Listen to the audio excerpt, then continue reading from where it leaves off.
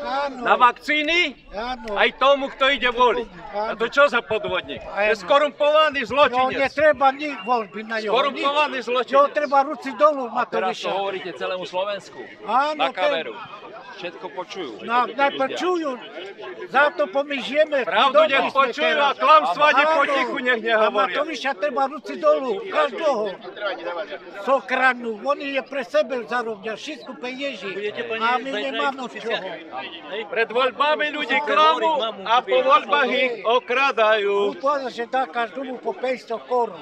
Ej, mu dá po 500 korun. Ale ukradne od ľudí, nedá na dôchodky, koľko potrebujú a potom porozdáva komu chce.